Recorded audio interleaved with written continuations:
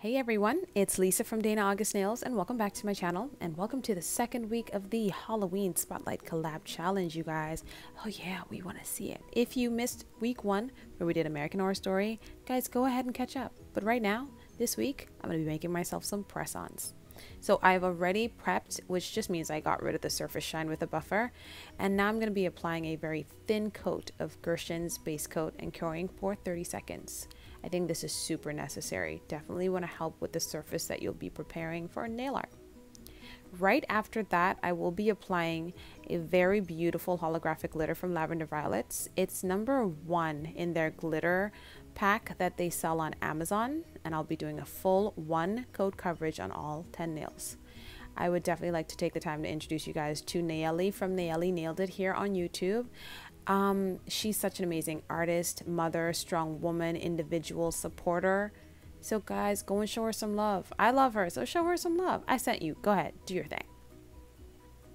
So, I am going to be doing a little bit of Sally and Jack. Very little, minute, because this is technically a trend and I hate trends. So, what am I going to do? Make it mine. So I top coated with a bit of matte and we're going to use these colors here. Again, I'm not going to do a product list. It's super long. Just bust out your favorite colors similar to these and get cracking. I will be creating a side French with the black and then filling this in. So guys, be sure to hop on Nayely Nailed It on Instagram. Show her some follows, like the pictures, of course, of her wonderful art. Speaking of pictures, I love this cloud and rhinestone look. And also the cows, the cow prints. Come on, you guys. This is worth the love and the commenting and the sharing for sure, as well as the following, as well as the subscribing. Um, please go show her some love. She's really done so much to support us over the last few months. So yeah, so I am filling out the rest of this French with different colors. You'll see purple and green on a thumb as well as a pinky, as well as yellow and orange on a thumb as well as a pinky. And um, you're to start seeing where the Jack and the Sally part comes into play here. And as I'm filling these in, once I'm done, I will do a full cure for 60 seconds, you guys. So on the black area, we're to do those classic white stripes that Jack has. And there you see it, guys. Jack from Nightmare Before Christmas. Don't look for him no more beyond this point. All right, guys. Here on YouTube, she has got so much content for you and i don't know about you guys but i can listen to her talk for days my favorite look is this look that she did where she recreated a set that kylie jenner was spotted wearing it was black but she girl she did it in this green and i'm here for it yes i am so on the yellow and orange and green and purple areas, those are going to be Sally's patches. So I'm creating the classic stitches on there with a bit of black solid cream from Modelones. I will cure it and then top coat that section only with shiny top coat. And I will be filing all of my free edges to create that crisp look. So now let's move on to Oogie Boogie or Oogie Boogie. It really depends on who you talk to. Here I am outlining his face with some black, and I thought, oh man, this is gonna come through on camera. Eh, wrong. But I figured I'd share the process regardless. So here you go.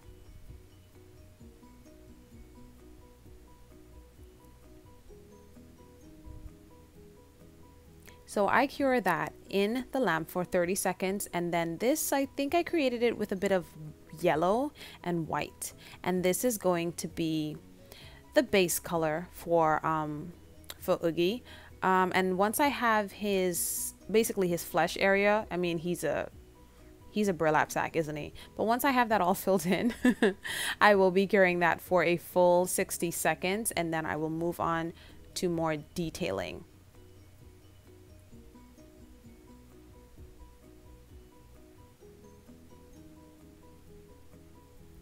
Here's the thing, people you know I'm a fan of dotting tool nail art. So if you can achieve it, you better do it, okay? So I'm filling in his eyes with the black and of course, definitely gonna be curing this for a full two minutes just to be safe. I do bust in these um, brushes here and there. You guys, I was wearing those black gloves. Did you see? Okay, my hands started burning.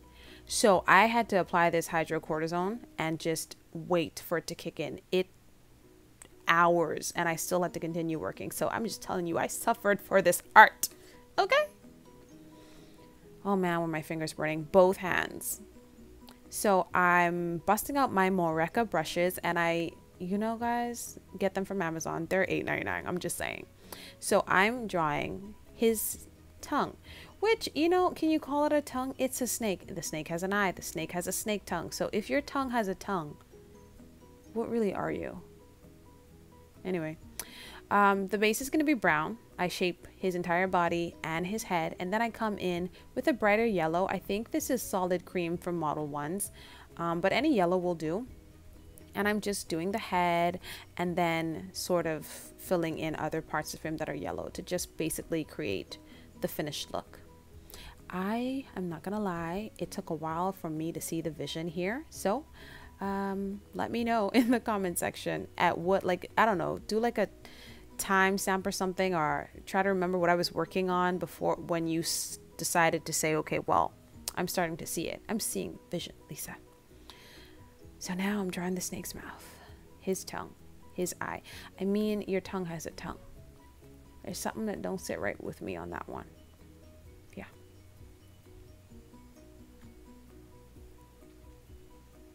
Oh guys, and thank you so much for your comments on my AHS video and on the other girls videos and just following and subscribing and supporting us and liking. You guys are awesome. So awesome. Now, some of these colors I don't remember, but I do remember this one. This is Model 1's Solid Cream. And at first I was going to leave patches of Oogie, this yellow color. And I was like, ew, gross, that's not going to work for me. So I started smearing Christmas tree all over it in a very thin, thin layer.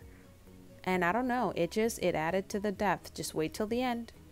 And then I'm taking this sort of like fluorescent green. It's like super highlighter, but also jelly. And I'm applying it in certain areas. And this is where I'm coming in with the shading.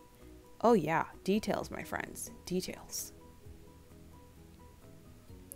And here's Christmas tree again, and I'm just applying it in very concentrated areas to add the depth, uh, you know, just a lot of the stuff, the usual stuff that I do um, that are subtle, but, you know, super effective, I think. And as I'm doing this, I cure for sometimes 60 seconds to a full two minutes um, just to make sure that everything is nice and sound and cured.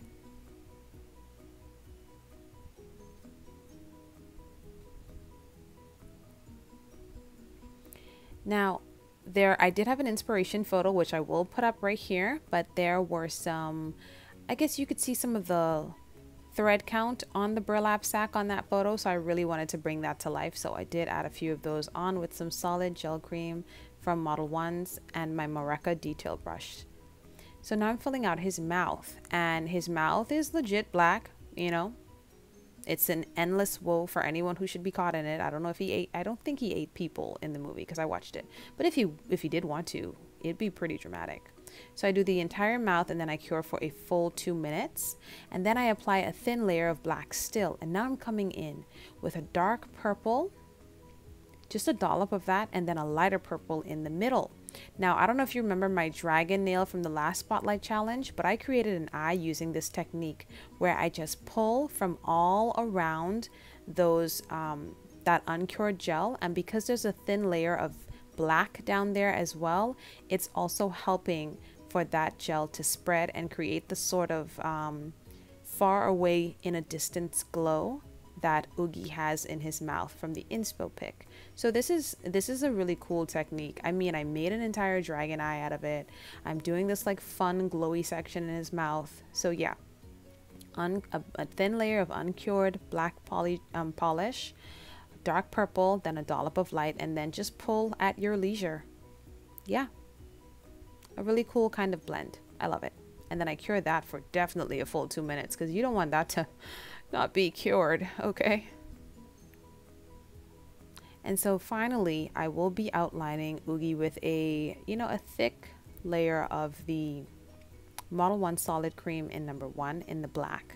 And even his outlining was detailed, you guys. It went from black to white to purple. Oh yeah, me and Oogie, we got we got to know each other very well when we were doing this. So um, don't leave any section out not on outlined if you can avoid it. So here I'm coming in with the white. And I'll say, as I was doing this challenge, as well as last week's challenge, I'm falling more and more in love with these Moreka brushes, you guys. I'm telling you. So I'm going in with a with that purple, doing a full cure of two minutes right after this, just the last, you know, mm. and then I go in with Gershon's top coat and cure for another two minutes. And that's Oogie done. Now, let's add a few of his little well-known features, shall we? Here go his dices, and it's just going to be those two dice on the snail. And all the artwork is going to be shiny while the backdrop, the glitter, remains muted. Oh, I know you guys are like bummed, right? Because you can't really see the hollow part. Uh, you'll be okay. You'll survive. You'll survive. So once I've got the shape, I will outline the dice and we'll start to see this um, evolve over time.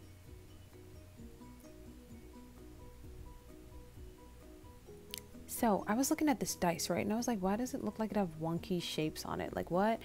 But there are weird shapes on there. So I had to draw like some like spooky ghost shapes and some like something that looked like a peanut. And then after that then I was able to add the actual dots indicating the number the dice rolled on. So after that I cured for like a full 60 seconds. And then I'm adding this cool little glowy feature that again I saw on the photo um, and this is just a bit of yellow, little subtle detailing. And now I'm top coating that. As I mentioned, the art's going to be top coated. The backdrop's going to remain muted for that glitter. And then I cure for one minute. And boom, that nail is done. Here is the fun part. I wanted to do some spider webs, but oh my gosh. Can we say spider webs are outdated, but somehow they still work? Well, I wasn't about to be doing the same spider webs everybody else was doing. So here are my spider webs yeah, a little something different. The lines are thicker on certain areas. Some of them aren't actually like going straight across in that curved way. And um, yeah, I was really, really happy with this. And of course, where there's a web, there is a spider. My spider had to be slightly different as well. Um, the area, the bottom part was a little bit wonky. The thorax, yes, my fifth grader is doing science. Um, and then I'm adding a bit of, you know, I mean, it has eight legs. I counted just to make sure. And then I took this brush and then I had to add a bit of the fuzz for the, I mean, can you call it fur on a spider? I don't know. It looks like fur. A little bit of fuzz. And then wait for it because I know you guys are all mad about the muted glitter. Oh my gosh, I'm gonna die. No, I love you guys because you love glitter. Boom, I top coated the spider web. Because I mean, come on, man. It was high. We had to showcase that holo glitter. We had to. So I'm moving on to the mayor and I'm filling in his outline and I want to introduce you guys to Jennifer. You guys, can you please go follow her, go subscribe, go like, go comment, can you please? Oh my gosh, it has been so great getting to meet her. Here's her Instagram, you guys. Look at the art that she's creating. She's a, oh, she loves polygel just like me. But look at this cute shorty set. You know I love a shorty. You know I love a shorty. What I loved about this set is that the flowers were muted. Like she did not shiny top coat that. So I'm just saying, you guys go and check her out. There's so much more looks that I did not cover that are definitely worthwhile. And she's such a good person. I feel like if you guys had the opportunity to talk to these women like I talked to them, I don't know, man. It is just good to be in the presence of full on support and love. So, whether they want it or not, I'm sure they want it because they're awesome. I love them. They're going to just have to deal with it. Mm, can't get rid of me. so we have added quite a bit over um, on the mayor. His hat, the brim, his teeth, his gums, all that. Let's focus on these weird eyes. Like, dude, could you figure that out? One is a full circle. The other one is like this weird spiral. Like, where are we going on the trail that your eye leads us to? Are we going to find our way back? I don't know. So there was an inspo pic for this as well. I will put it up here and give the artists credit. At the very least, I can show the picture and I can mention that it's not mine. I don't know that I found a lot of names for the artwork.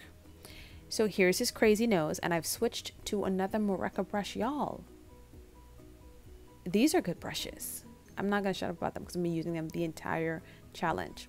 Now for his other eye, um, I just did individual strokes of black because I didn't want to fill it in because it wasn't exactly filled in. There was like fleshy areas still showing. So here is some of Jennifer's content here on YouTube. Um, I love what I did love is that one of the first videos that I watched of her was when she was practicing her um, acrylic beads. Yeah, and here she is executing some more shorties. I feel okay, so I am in love with her short looks. I love her long looks too, but when you find people that can just do shorties, you just want to see them do more shorties. so yeah. Anyway, I am adding some brown, some tan, some this and that to add detail to the mayor's face. And clearly I did a lot. This really cool technique that I loved and noticed from the art was that it was almost like it was a rough sketch, the picture. So I tried to recreate that by doing individual strokes of black here and there, and then also doing that with darker colors um, on top of a color that I've used. So if I did a light gray, then I'll do a darker gray with the strokes and then add black on top of it. And I did tan on his face. I did a darker, a darker tan, and now I'm adding black strokes on his face. And so now we are outlining this guy. So y'all tell me how y'all's doing. Has anyone started decorating for Halloween? I mean, I it's not that I don't because I don't want to. I just don't because I don't have Halloween decorations. Isn't that sad? It's sad and depressing. It really is. But, and I also live in an apartment. Not that they would care, but I don't even, my, ugh, I'm gonna just leave that there. But if I ever get my own house, I would totally decorate like it was no one's business. Mm-hmm, mm-hmm, I would do it. So now we are outlining quite a bit more. And I thought this was super important because he has these like crevices on his face. Dude is like, he's got a meaty face for someone who's technically, is he dead? I think he's dead, but also alive. I don't know. Anyway, you guys saw the inspo pic, so you know that there's quite a bit of these detailed lines. And look how this brush is gliding. Oh my gosh. Oh my gosh. Like, I know they're pretty much all the same brushes being sold, but it cost more people to source them. But these are the ones I grabbed first. So I love these. Okay, so a bit more detail on that eye. Again, I'm adding those individual stripes, but it's just with thicker material. This is the thick number two solid, number one solid cream from Modelones in black. So this is how I'm going to be able to add that really in-depth detail. Um, I forgot to put a yellow, a, just a dot of yellow in the center of this eye. I will never forgive myself for it. And neither should you. No, I'm just kidding. We're over it. We're over it as soon as we noticed it. Ain't nobody's going back to that. What? This set took me like... Well, I started it a few weeks back, if I'm being honest. Just the French tips took me like a whole night to do. Not really, I was being lazy and that was like a week back and these took me like i think the individual sets of five took me like a night each yeah so i did oogie's set of five well set of three first and then that took me like a night i started pretty late like 10ish and then the mayor took me also a night and i also started pretty late like 10ish so yeah yep yep yep a rooney so uh if you guys haven't given it a like by now. I don't know. Maybe, you know, just, I don't know. Give us a like. Appreciate ya. okay, so the teeth. Yeah, yeah, yeah. His teeth are weird. They're weird. So I wanted to highlight that weirdness. Okay, they're gonna start curving in certain areas. I'm gonna start drawing like random lines on them to give them depth. Do you see how crooked and weird his teeth are? And he's always doing this weird, creepy smile. So I definitely want to pay attention to his teeth. And I'm not gonna lie, I surprised myself with this art because I don't know what was going on with me last week, but it's it's over, I guess, at least for now. So, on the mayor's necktie, sort of, it's a spider, I don't know. I'm creating that little bit of red detail, and I will be carrying that. And because the mayor is all done, it's time to top coat his fabulous self and I'll be doing that with Gershon and then curing for a full 60 seconds. So let's do the mayor's ribbon. Yeah, let's do his ribbon. I'm using a bit of, I would say this is like a mannequin yellow. Just add a little bit of yellow into white. Boom, you're done. Use your dotting tool and then add a bit of black to red and draw the outline of the ribbon and then just start filling it in. Give that a full two minutes cure just to be safe. Um, and then you can, I guess, get ready with your black because we're going to outline this. We're going to add a bit more detail to this. It's going to really be woken up by the time you guys are, um, you know, times you see the end of it.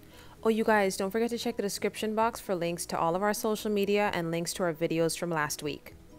So here I'm just adding a very light amount of black gel polish to create shadowing on different parts of the ribbon. And now it's time to outline this bad boy. Super neat with the outlines, but when we start moving into the artwork a bit more to add like darker details, it will get a bit messy to keep in theme with the original inspo pic. But man, do I love how this brush glides across a nail surface. Oh my gosh.